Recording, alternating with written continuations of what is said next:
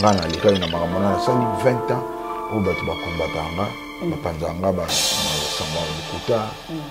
kobimisa nga mabe mpa bato mpa baproducteur mm. e nzambe aye kosala yo makambo wana to ekwei epuis ye motanga azalaka na biso azalaka ridicule eh, ayebi mpenza ke a ah, nde na boye navandi na bagrand sikoyo bino bato na ye boyebi ye ke grand comprendre ye wana ingrand eza teke mpo na succès oubie mpo na makelele yango te mpo na baconcert asali concert live ebimi ça n'a rien à voir ntango biso olobaka un grand un grand eza teke mpo bamosusu toyebi ke aza na succès mais toyebi ke aza fouteur toyebi bango vraiment un grand eza na makambo wana nazoba no artistiquement mm. donc un grand eza teke mpo oza na baimmeuble te wana nde oza riche oza grand artiste te mm.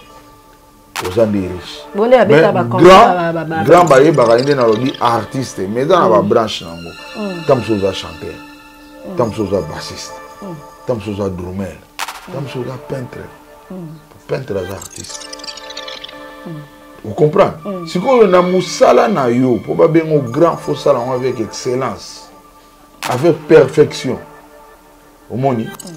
e, e, expérience mpe ena po comme expert ezalaka Nzeka, qu'est-ce que tu peux dire à propos d'abord ya arena ya ferrego ndelo na lobaka faut te féliciter bango po nyonso wana c'est le congo qui gagne mm. oétudie bamwa mboye ya ferrego lebetaki babizonbarebonzele eh, natali niveau na bango nga mpe na bifo nazala ah. donc ndenge oétudie bon yo momo deja ndeni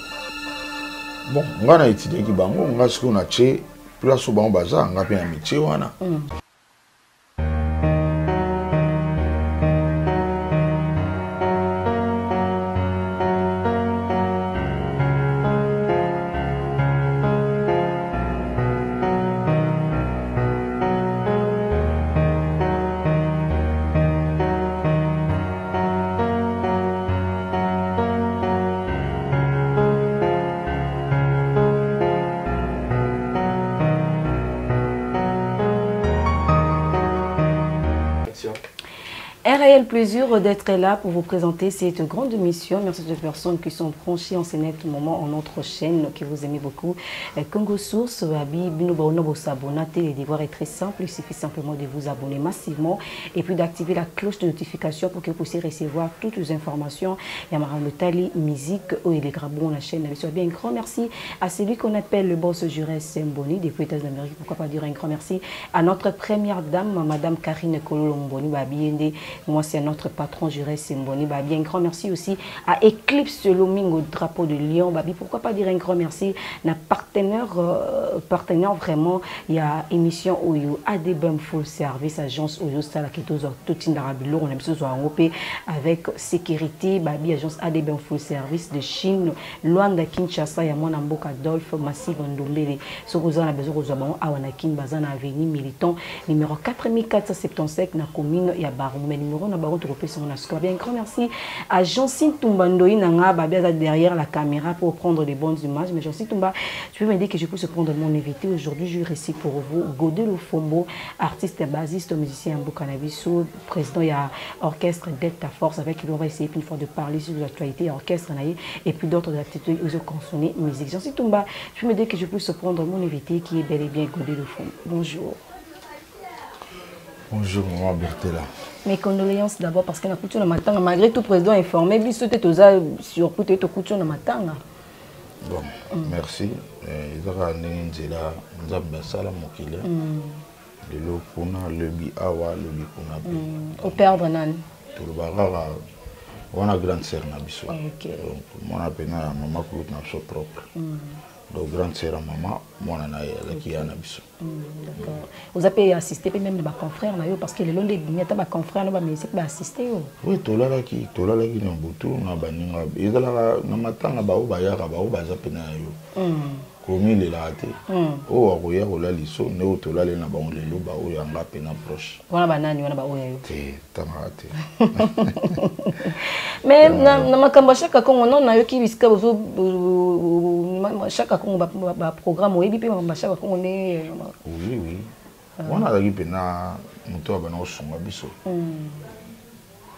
malgré toyoka baartiste bozolobela yango vraiment te te tozolobela yango hmm. tozolobela yango eza eh, toloba suni mosi akufaki non mpo neti manda omona président char akongo azalaki euh, na matanga na bino moto abeli moto surtout bacomédien omona oleka baémission azokota par ci par là mais ya bino c'est comme si namoni moto moto afai na coin na ye bozela ka le jour juto ndeni nde balobaka valeur ya moto eyebana asima liwa na ye mm. wana ezalaki mosala na ye mm. yango bana kosala na vie mm. eh, mpo osala yango eza facile te osala role wana ya bana osala bato bolali na bino me esalamukaki abeta porta abeta porta wa ezalaki don na ye biso bamosusu oyo eza don na biso te donc seke aza irremplaçable tokoloba normalement moto azalaka irremplaçable mm. baremplaçaka moto te mm. bokomeka kokunda vide me koremplace moto nga naloba eza impossible okokunda nde vide po mm. moto oyo boko remplace wana akokisa bakalite nyonso oyo azalaki nango te ta mosusu mpe ya koaporte mosusu mpe okuna azalaki te donc c'est comme ça mm. mais mpe ya son ame mm. heureusement abotaki aza na mwana mwana na ye ye moto ozokolabore na ye mm.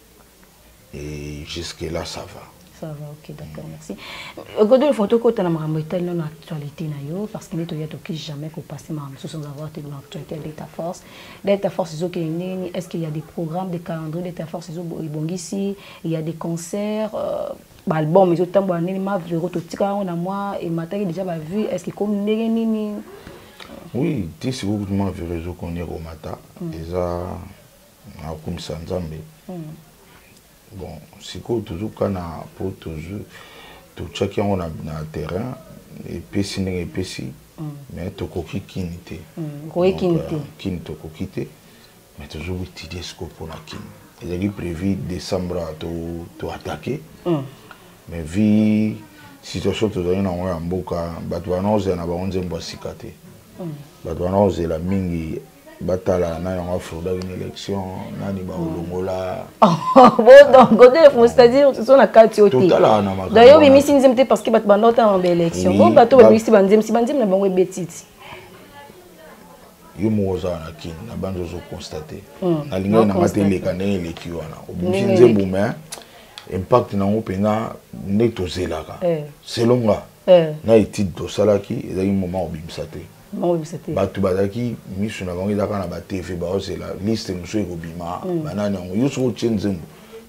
baotya attention kuna te mm.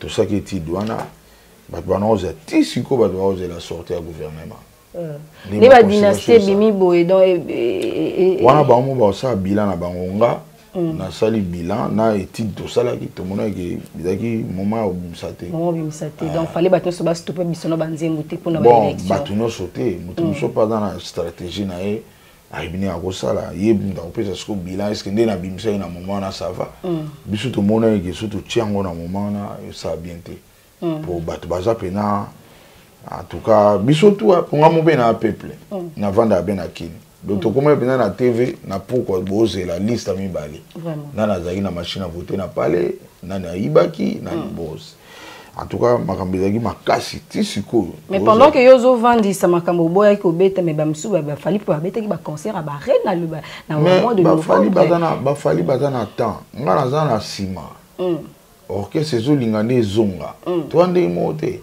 ngai naosala siko effort nazonga mm. ntango nazobake nakoki kini te eza kokoka kini te na cadre teke ya lofombo mm. lofombo aza deja na kini international star ya makasi basis eparmi bameilleur mais orchestre na ngai na nzembo na biso ezala mpe na marché ndenge moko na ya bafali toza ndenge moko te ngai naza na nsima orchestre ezalaki menace menace bakuba bacalomnie Lelo oyo na se ressaisir okisi ezongi tozo beta.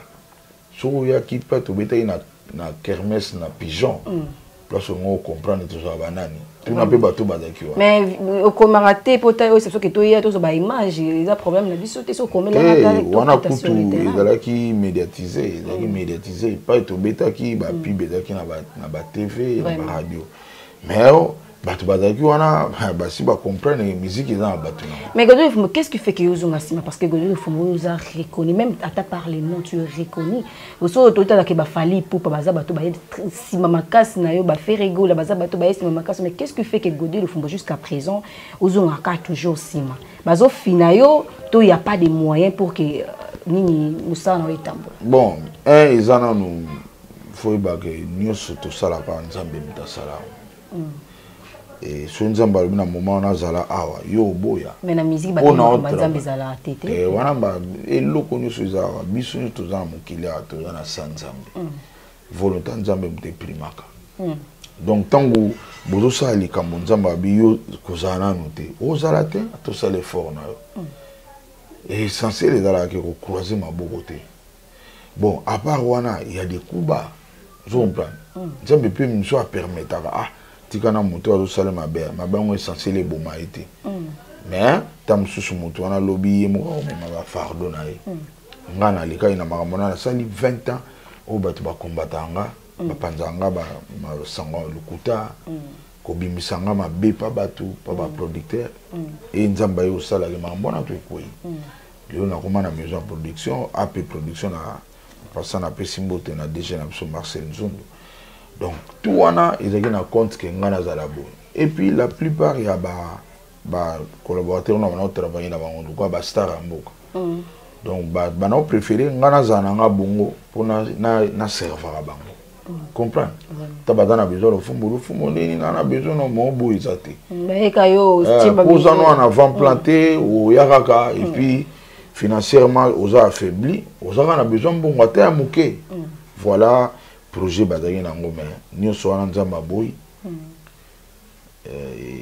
lelo oyo mpenza naza ya kosepela yango d'ici quelques jours makambo ebele ezochange d'ici quelques jours to s'assurer que producteur na yo akosinyola mpe baconcert ya barena akosinyola mpe baconcert ya bazenith akosinyola baconcert mpe bastade de marse parce que gode lofumbo on attend ki parce que lobi ya motu moto ayeba yango aza te mm. lobi ya motu aza te essentiel kaka to croise maboko te vraiment lobi motu moko ayebi lobi naza te mm.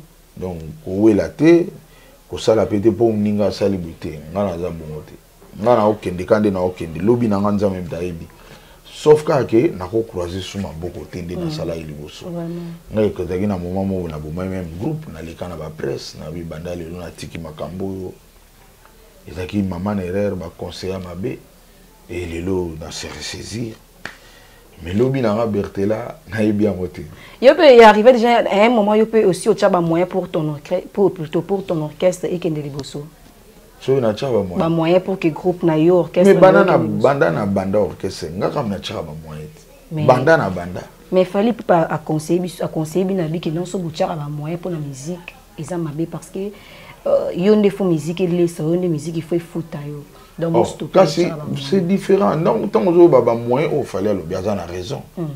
ba moyen oyo nga na oyo otuneli nga oyo na répondre oyo yango mm, te mm. donc oyo ye alobi eza oyo nga mpe nalobaka mm. nga nde naza boye bertela na nasomba billet avion na nga te nanu te na nafuta hotel te partout na ntango nga natamboli monde entier bacontinent nyonso nzambe asala mokili oyo nakoma na nafuta billet te donc musique mpe efutelanga ocomprendre na mm. sens wana mm. mais bamoye ntango oseli orchestre na yo ma orchestre na yo fo erépété te mm. fo barépété bamusicien na bakendaka batransport seke bato nde bacomprendre sens ya bamoyen fale alobaki bien te nayebi te soki alobelaki yango ndenge nini ngai nayoki te mais ngai nazo comprendre ke eh. bamoyen oyo alobeli fo moziki efuta yo musicien normalement soki olingo voyage ndeti ngai mikolo nazokende mpo matadi mpena esimba nango mm. nazobeta kuna tellement trop yo kini eboyi yo kaka baprovince nde moto eh, eh, kini eboya nga te kini eboya nga te mm. donc orchestre na nga na nzokini eboyi yo parce que kini esimbami na bato nango waye lofumu eh, te kini eboyi nga te orchestre na nga na nzembo na nga na kin eza na top te c'est normal okay. ocomprendre mm. c'est normal mais na kin yango ntango nazobeta bato basepelaka fort mais naza na ba maison oyo bazo ba, ba, baza bien placé na matadi mm. et chaque fois si ya euh, eza na likambo boye oyo ekosalama kuna bazobenga ngai nakende koagremente yango c'est tout à fait normal mm. epesameli na matadi okay. mais kin lofombo aza présent mm. d'ailleurs eza kini te mokili mm. ngai azalaka international donc naza mpena mokili mais nzembo na ngai na miniti oyo eza na top te c'est tout à fait normal ntango okay. nzembo na yo ekóma na top nakoatteindre baechelon wana nyonso tozoloba eza nango miziki Gozo Fumbo, tu as qui paraît que tu fais ça la featuring de Morona Ferregola, mais je ne sais pas, ma solo en est couffe, attendez, parce que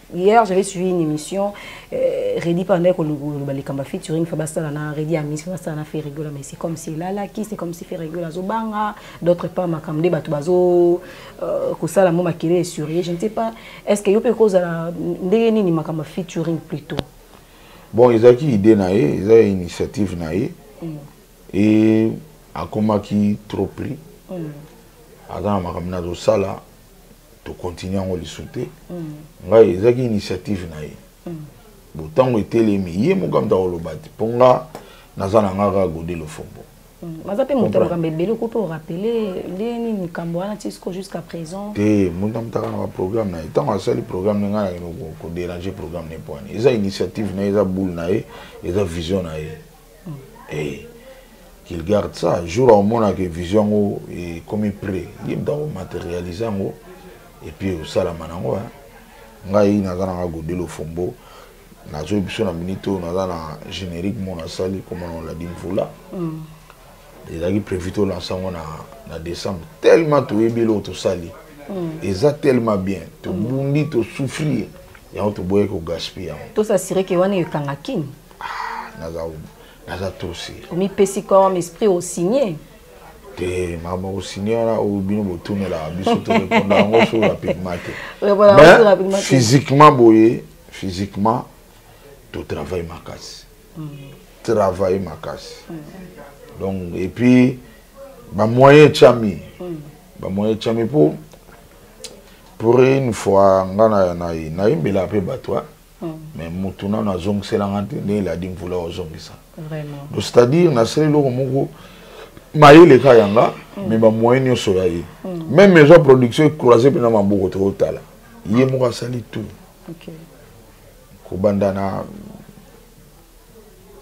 kolata mm. bato bafigurante ba, ba, ba donc tout ye moko akipe équipe ya tournage liboso ezalaka komona ngai mpe nabunda ta mosusu nasengi appel na maison mais mbala oladi mvula asali tout ye moko donc epuis tobose mpenza wana nazolaka bato bokozala desi te et puis kin yango turo tokota masolo turo gode lofombo akota masolo babi toza wana na gode lofombo adebam full service totinda bilo na biso kuna mais gode lofombo tokota nao na actualité en dehors epe ya delta force parce que tozwi mpe mwa temps mpo na yango nayebi te tozomona baconcert ya barene ezolandana awa après fale pupa feregola paza na concert ya arena le 20 avril le 21 dans double arena Et puis Fally Poupa revient encore pour la concert sous Siaré dans le mois de, le mois de juin, hein, je crois. Et puis Félix aussi, quand je ne sais pas celui par fan de Sarah Makambo, le Kambo Arena. Je ne sais pas qu'est-ce que tu peux dire à propos d'abord Arena et à Ferregola. ndelo na babaka faut te féliciter bango po nyonso wana c'est le congo qui gagne mm. moni ntango basala wana eza basala minene mm. eza lokola baboke tya bi libanda mm. donc toza normalement faut te féliciter bango mais ekomi lokola mwa concurrence eh, lokola mwa guerre musique ezalaka na concurrence musique ebanda ebanda ezalaka na concurrence hmm. mabe nde ndenge ekoma emiko eleki ya kobunda ya kobomana mais à part ça musique tosala yango na concurrence ndenge nga nasali ladi mvula wana hmm. na étudiaki bagénérique nyonso ezobeta na terrain hmm. nga nakoleka yango na nini c'est comme ça oétudie ba ba mwa mboye ya ferego lebetaki ba bizonbi oétudie ba ba rebonzele ya eh, ba natali niveau na bango nga pe na bifu nazala awa donc ndenge oétudie bon yo mo monde déjà ndemi bon nga na étudie ki bango nga siko na che place bango baza nga pe na mitie wana mm. siko na sali effort na leka bango mm. siko résultat odaka bato ba oyoka bolo efombo okoka koleka bango te nga na générique ya pa match hein.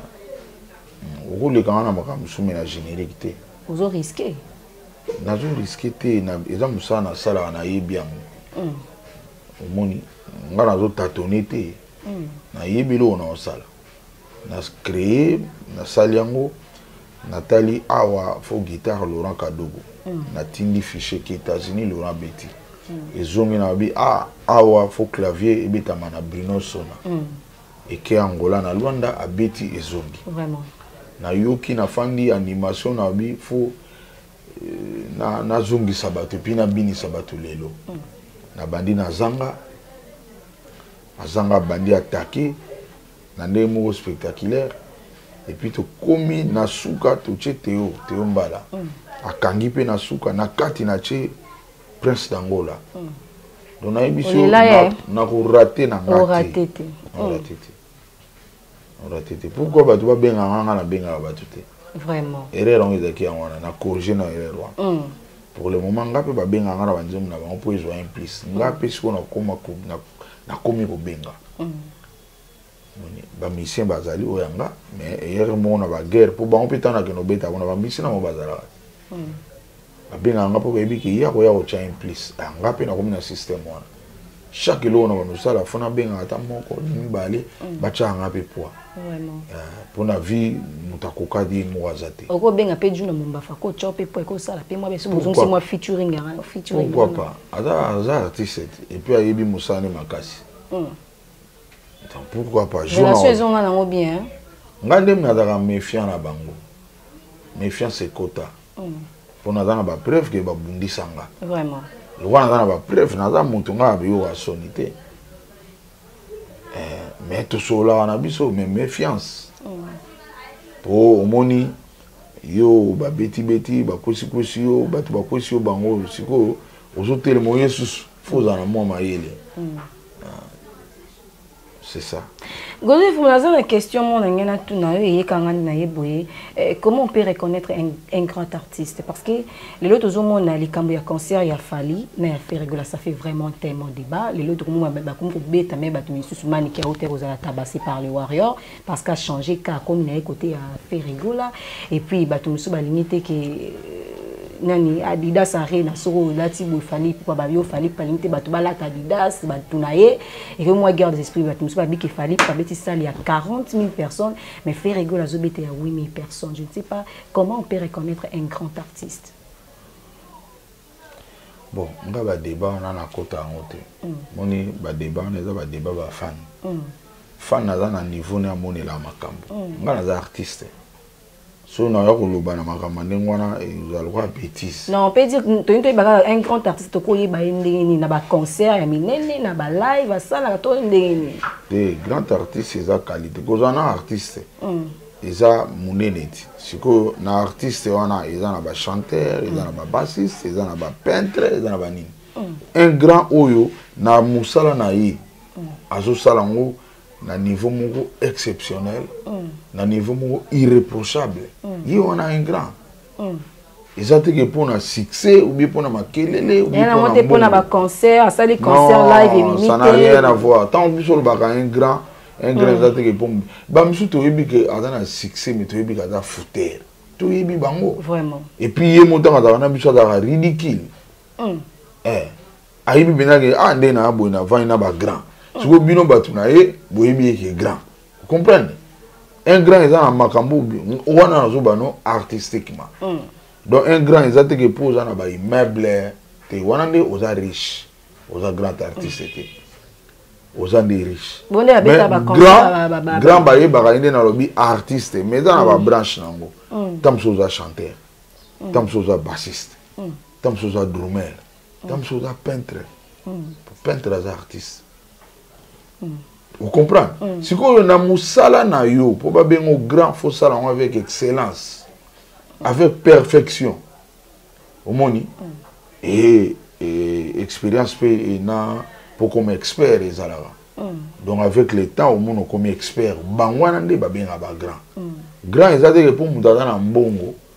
oubien mpo moto atonga ba immeuble oubien mpo moto abetaka ba concert lelo yo ndenge oza boye so bafinance yo okomi no mpe chanteuse lobi kaka mm. moto soki atyelo mbongo kobeta mpe na place mwa monene mm. eza te kokomi grand likambo eza ya makasi ya banimero eh, mosusu na landri japonokoma grand na niveau nalobaki eh. nobie na orépondre atanke artiste na orépondre mm. atanke fan te po fan akoloba ndenge mosu nga mpe nakoloba ndenge mosu nga na fanatique ya motu te mm. nga natalaka grand oyo aza na perfection na eloko naye na mosala na ye mm. e nakorespecte ye comme un grand nayobiki ah, moto oyo aza mpenza grand mm. mpo na kotala soki aza guitariste na kotala ebeteli na ye e ba œuvre asali voilà eza teke oza guitariste okóma na mbongo oza na ba jeep oza na nini oza grand guitariste mpo so babino grand artiste seke oza loko oza guitariste seke oza grand guitariste moko ozala star moza oza guitariste ya malamu te tamosi olekaki kote moko bafulafula yo mm. bi ozalaki na ndeko na yo moko boye azalaka na mbongo apesa ko bakar otambolaka na yango bi oza na don wana mandefu lokola benzema mm. lelo mpe moto omona atiki songe moko awa abimi ne mpe star na quartier mm. ah, donc eza na sens te eza bato bayeba kosala différence wana grand ezali moto aza na perfection hmm. na mosala asalaka aosala yango na niveau moko so bato baye bazo reproche bon l'erreur est humaine moto akosala hmm. erreur mais baomona mpena ke oyo c'est un grand hmm. c'est ça eza ndenge bafane bamonelaka te fane aza ne kaka fane so alela obertela atoyebi na yo te makili ekutani azala ne fane na yo esili nde to yo ozala na bafane te nga ah, na bana oyebango te kala sikoyo okomi nango te bazalaka depuis kala ebele na monde baza surnommé na monde nazoyi biso baza surnommé banda parce que bafani toyokana bayokana bazaka bagolo na bawario bon ngai jamais napesa bafani na nga kombo pourquoi jamais mpe bamipesa bakombo pourquoi me mosu azalaka na colombie ayebi kulingala te bokosola nini mpo bosala réunion bomipesa kombo mosusu azalaka na maroc mosusu avandaka na angola mosusu avandi na japon japonais mosusu belge mosusu mm. turque mm. bakozwa temps heure ni basangana basala club bapesi kombo nde baninga bapesi bakombo eza mabe o oh, eza nango mabe te mai yanga sikoyo eza bongo te mm. yanga baa na temps wana te bango balingaka lofombo situ baza na ntango kosala bareunion te ngai mpe naa na temps te nabenga bango boya bosala reunion bosala boyeboye naza na bango ebele liboso na wana oyeba te mm. soki olingi oyeba niveau ya bafani na yo tya foto na na facebook mm. biso okoma kosala yango nalamuki na ntongo bonjour mm. natye foto na nga tala sikoyo kuta ata na facebook na nga tala omona mpenza ngai yo na nzambe na biso wana kuna basi a ah, ngai na so nabeta basi mpo na yo bamosusu ngai avec basi none nayokaka esengo tala ebele et c'est partout na monde batémoignage ebele vie nguma ke ebeta na colombie mm. amoni bacolombien bazoya balati bapolo nga te natindi mbongo ah.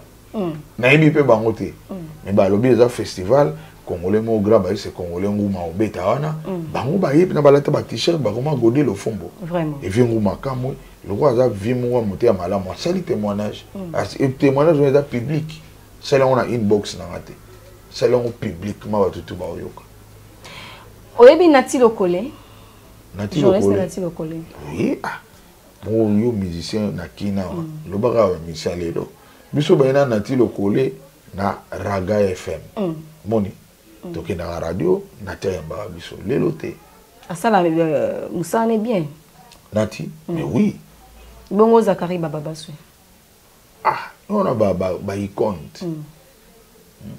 mais ce qu'on ndenge ba memeli musala na bango lelo na ndenge bazalaka kala différence eza bon différence ekozanga te mpo na mboka nga nazoyi biso mboka eza ya kopola na niveau moko na mm. te euh, donc makambo ebele ezosalama lelo mm. oyo ekoki kosalama te lobi lelo ezosalama mm. bavaleur edimine makambo ebele edimine respect eza lisu te e ba principe mpe nandimi te ekotikala ekotikala ndenge ezalaki lobi mm. eza ngai na obenga yango suite ya mboka mm. bachangement ebele tozo constate ngasi nasala na émission moko yo otie titre moko boye oh. e bato mosusu bazwa yango na ndenge ya mabe nyonso eza ya baéducation na bandenge mboka ekomi na kozanga moni moto aza na mega te atali titre asiliki mm. abandi mpe kofinga comprendre mm. ok kale alaki te mm. mpo andini moto to ayebaki koaccede na likambo azalaki mpe na mwa patience mais lelo ngai na okondane mpenza bato ebele te makambo ebele esalama eza mboka mais eza par rapport mpe ndenge bango bapesa batendance mpo tomi tosisa biso parce que fo toshite parce que bango bapesa batendance na ti likolo apesa tendance ndeti ya fali mpo pa lelo babebana tendance et puis tu as au moins il a menacé qu'ils Zachary baba bah, ça beta à l'aéroport tu éviter parce que bah, ça la tendance tendance ou pas mutu na mutu aza libre ya kosala eloko alingi mm. ngai nako jamais kokondane moto mpo aza na tendance na ye mm. le goût et les couleurs ne se discute jamais vraiment donc ngai bertela soki oza na tendance na yo ndeti nga naza artiste mm. naza mpe star mm. bamasa ebele mpe bakomela nga mm. muna lof na lelo mabe me ngai na moto ya dering ngai nakumisaka vita comprendre nakobomba te naza lâche nazala hypocrite nayawa no ngai nakumisaka baekipe nyonso te eyobanda ndeni naza na tendance na nga na bale nakumisaka ni barcelone ni real de madrid mm. nakumisaka vita mm. donc nde omonaka bato bazolanda barcelone o oh, real naza te mm. eza choix na nga mais yo koyina nga te base na nga mpo yo kozala real de madrid non mm. Voilà, nga na condamnaka moto na tendance na ye te soki asalaka mosala ne bien asalaka mosala ne bien mm. akozala na tendance ma osala mosala ne bien ngai ti bazalaka na batendance na bango nga bayambaka nga naza gode lofombo mm. nalekaka na bemission zakari bababa se banda banda mosala na ye mm. nano asenganga ata infran te na vie na ye nano te nano te bana na botama nati lokolo bomonaka na banda banda mosano bon eza sef ça dépend ba artiste batalaka wana un grand mm. nanu basengaka mbongo te babengaka nga mpenza ah, ndenge nini oleka te nani émission tel jour naye mpe naleki mm. donc eza omoni bato ebele bakutana baku yo moko force yo moko osali makambo yango baopekisa mm. miziki fo esunga yo soki okoma osunga miziki eza mabe makasi ah, fali pupa aza raison mpe donne totalement raison fali pupa te wana eza soki soki oyo okoma osunga miziki mabe mm. wana mpenza eza normal mm. tika miziki esunga yo mais yo se prépare ko se prépare na yo elakisi te ke baboyi te ke kobimisa mpe mwa balare na yo mpo osa osameliore na art na yo mais ntango osameliore impact okopesa siko miziki ekomofuta yo wazeko azo riske eh, me yo nde ozolala ah? arena wazeko azo riske arena yo nde ozolala eh, wana etali ye ye moko ayebi eh, place akosuka nango eza vi na ye soki azo riske eza mpe mabe te hmm. ki riske rien na rien ngai sikoyo nde natalaka makambo na avant nasala na otala boye eh mpo ngai na minute oyo atoyeli ngai lare nabeta martir na kobeta te opwani oh, oh. me nakoki nanu kini te na bandako ya bato batoyebazali kobabeti yango omoni te epesaki mwa nini mwa bien ah, moto na moto aza na observation na ye mm. biso tu totalaki moto na moto aza na observation na ye mm. nga sikoyo nde na observe nga toyelinga mbongo na kobeta te na olinga mbongo wana nasala siko promotion na kanga kini nde naa boye motu moko te ero aza na palais azobule nzembo na nga mm. na minute oyo aza te bazobule kaka na nostalgie na nga na ndenge naza un grand mm. mais foza na nzembo moko na moment wana ezoningisa obenga bato na bandako basokola nano mm. bakende stade obeka avant moto akende stade fasokola oh. fo aza na volonté na zoyi biso vraiment mai mpe ekoma mpasi na kini mm. mais fo eloko moko etinda ye don nzembo wana alingi yango trene aza na motu abi nakora te te mm. don yo nzembo eza nango to moto akomema na stade te na minute oyo eza te eza te ah. nakende obetaka bamutualité saint paul na bahonorina nangarumbarumba eh, non wana wana bato bakoya mpo nango mpe bakozala me bakotondisa stade te eh, réalité yango wana eh. soko oke contre réalité oyo etali yo mpo stade eza likambo otondisa eh. ngai nalobaki mbalo na stade avant kuta beta fo bayaka na baambulance mosusu akozonga ndako te eh. oh. oyebi okuti makambo okuti na stade edemoralize yo ozwi avc pour rien eh. salon ezalaka monene makasi bertela ngai naza conscient nakoki nosala bariske ya bongo te mm. donc na minute oyo soki eza volonté ya nzambe ekobetama me ngai na croise maboko te epuis do yango nzambe akotisa blague te so na du mpena base bertele ezaka blague te ah, wana ezaka blague te e so na bina kanisa mpo na miziki ezaka mpe blague te si peut-être aujourd'hui tu es invité par euh, Ferrego la Kanso nous a invité na arena à Mimi yo beta moi bas c'est ça bien Oh, mabe nini bo banzembo yango bata mosusu bakobeta kuna misu mingi na beta ti na créa bakeske album wana keske j'avais dit mobimba nga ti nga na beta yango mabe ozala soka ezalaka nde fo bainvite so bainvite te je viens pas mm. nakoyaka so naza na invitation mm. partout alors ata yo bertelo osalisi feti na obe na otinaka invitation te na oya ndeni nayoka na mm. sango bertela asalisi feti na ye non esimba te esimba te mm. soki oza na invitation naza invitation na ozala wana mais faut nazala invité so naza invité te non Ok, d'accord. Euh, on nous a signalé que de comme Nasuka, je ne sais pas si a euh, euh, calendrier de cours retenu pour l'orchestre Delta Force, ce que vous avez makambo vous préparé, go n'épée sa biso message pour Nayango et puis tout se séparer na biso. Pour na Delta, bato tout ba soutenanga na ba obulinganga, bozala l'aise, ils attendent. Temps ba bundaka nango te. Eh oui, na kusenga beskis, na na salara mabe, na bomara groupe. Mm. Et eh, reconnaître yango hein? Oui, ezalaka mpenza bien te nasalaki acte mwa mabe mpo mm. ezalaki na bato babundisa nga mpo nango mm. non ozo raisonne mabe non mais na, na nazalaka ferme na maintenaka décision na nga et depuis 2005 na bomaka groupe mm. ti naye kozongisa groupe na 2013 mm. comprendre mm. de 2005 à 2013 nazongisi groupe 2013 ti 2016 nazongi mais naye kozwa so incident moko esi eleka na koloba te eaffaiblir nga ti mm. lelo nazobunda siko nazonga mm. yango nomoni Euh, cette fois-ci na croiser sous ma beauté naza kotelema e eh, nzambe asali nazwi maison production mm. maison production oyo ekomi soki nazangi naolelela bango e bazosala mm.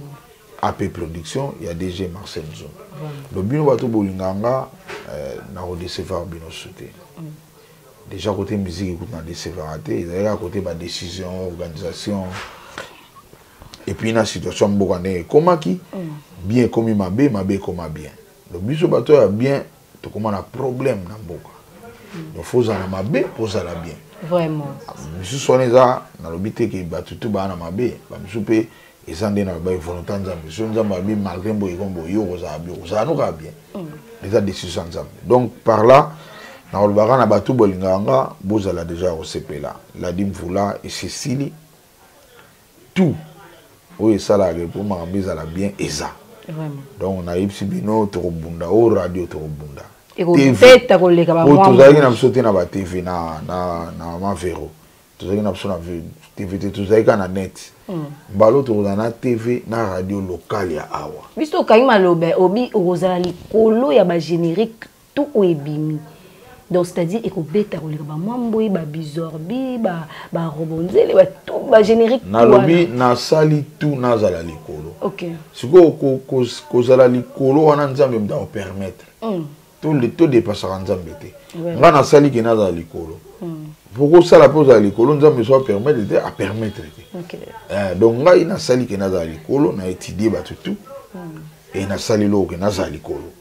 okay. sikoyo nzambe kamda akopermettre mm. abi ah non non non non non oyo ezala na top so nzambe moto apermettre osimba moto akotelemela yango azala te message de la fin et puis soki oza na mwa badédicace pour que tose séparé na biso message de la fin ngai ezalaka toujours comme mokonzi ya mboka mpo mm.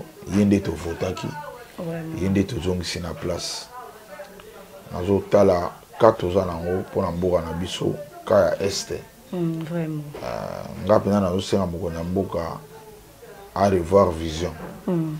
eza na bamboka oyo eza prêt ya kosunga biso bazali eh, tomikontinue komipesa na bamboka oyo ezoboma biso te conseil ngai nakopesa yango wana Et nasepeli komona su bertela awa na bumbu napeso bambote ebele ok merci beaucoup na obosana pe te jansi ntumba ndoi na nge ntumba ah, mm. ah, ntumba donc yaza héros na l'ombre okay. ta na minute azobenda bague mm. po bato ta bamona nazoloba alliance oyo ezala baproblème baomona benake no wana c'est un homme sérieux, sérieux. Mm. Uh, Ba mbote na yo Tumba, Nzambe apambola yo, oza hero da l'ombre. Ndeti osala emission oyo bato bamona yo te. Mm. Voilà role Lofombo asala na musique ya Congo. Vraiment. Ovandi ozo finga Lofombo mo tamso obinaki na pokwa. Vraiment. Tamso na pokwa so obina ye. Mm. Donc euh, na pesi mbote na femme na nga blanche mbemba napesi mbote na grand frère na nga shora mbemba oyo asala ngai napesi mbote na bureau na nga oyo ya kin oyo ezosunga nga na groupe mhm. analyseur mbanga danze eh, mayala napesi gazembudi e na coordonnateur na bango lisangwa moto johnny omanga mm.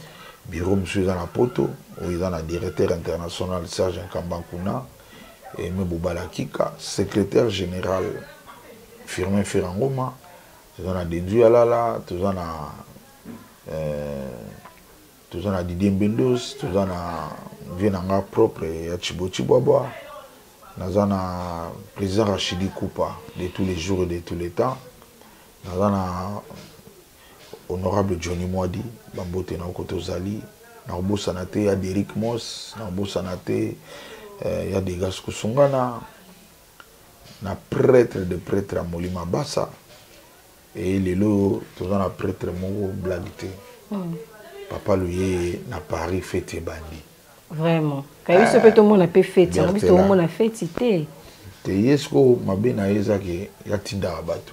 mm. alela kotinda mabe bon nga mpe na comprendre eza kotinda moko ya bien na accepte na nga mpo ezalaka omona abengi lof oza nakotindo nga bia loka si na mese na kotindo omwa aka na ndimi mona akei na western akei na kasi nga mpe atindaka je suis dispo bertela ntumba atindi nga na mwa western papa luyeye na paris fete mm. ebandi vraiment ah. ye mpena asalisa feti yaye eza maloba te feti mpena papa luye feti na paris biso mpe tozela feti otinda biso mpo gode lofumba be otinda toza na jansi ntumba so otindi biso esa donc naza na vie na ngai na kopesa mbote ya pasha bora mm. euh, wana mpena vie ya kati Et nakobosana jamais jamais et jazz papa na Izan mobali ya Izaena. Okay. Donc wana pena blague te. Bato basi mo masolo eh? na pesi eh, José Kapinga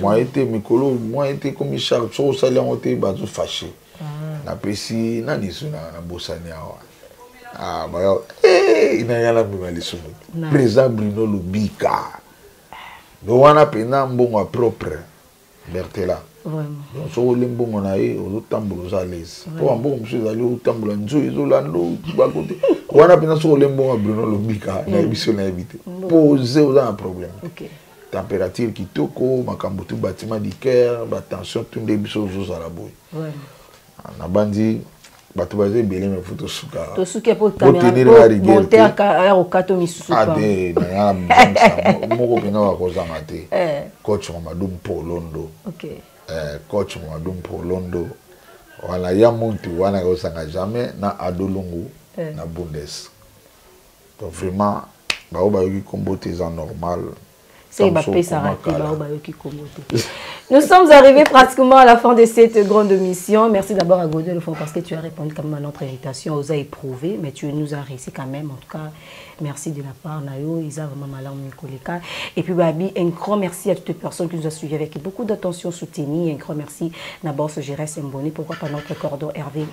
eh, kabamba leo na pensé na, na cordon na biso bien grand merci aussi à adebom full service tobosana te totinda biloko kuna mpo kuna sécurité ezali kuna ya du sérieux ya mwana mboka adolphe massive ndombele de chine luanda kinshasa donc okotinda biloko na yo avec euh, sécurité moko bien grand merci aussi à jansi euh, ntumba qui était derrière la caméra pourquoi pas aussi à normi bobakanda mon ami personnel quant à moi on se retrouve prochainement éclipse lomingo drapeau de lion